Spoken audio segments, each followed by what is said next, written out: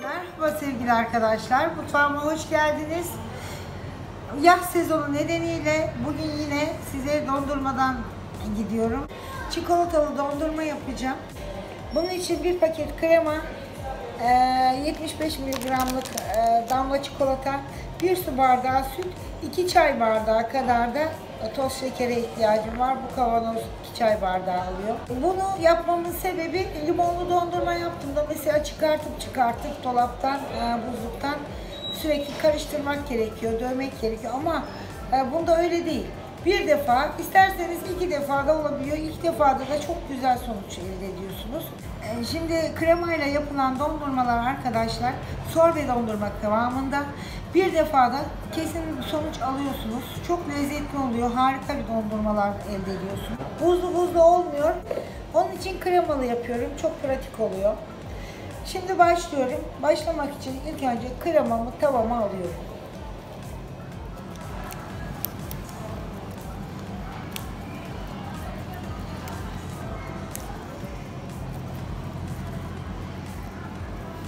Bunu ocağa alıyoruz. Kaynatmayacağız.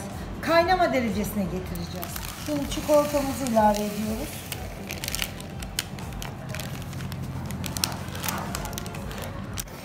Kremanın içinde çikolatamızı güzelce erittik. Ve dondurma yapacağım kaba alıyorum.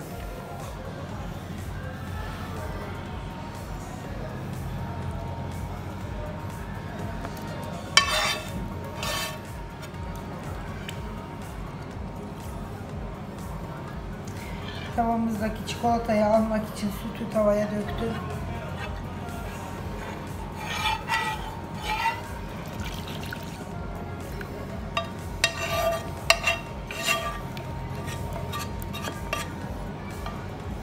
İki çay bardağı da şeker ilave ediyorum. Güzelce çırpıyorum. Şimdi hepsini güzelce karıştırıyoruz. Şeker erinceye dek.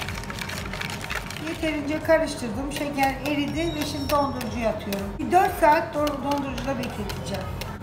Arkadaşlar çikolatalı dondurmam hazır. Çok da güzel olmuş. Şimdi birlikte bakacağız tadına.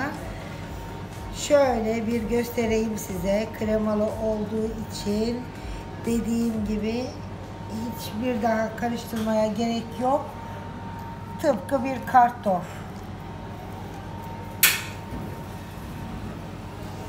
Külahıma basıyorum.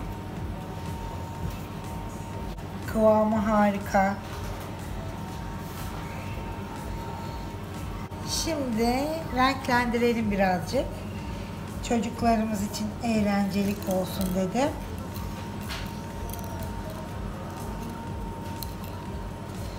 Harika bir dondurma. Afiyet olsun. Beğenmeyi unutmayın. Kanalıma abone olmayı unutmayın. İyi günler diliyorum.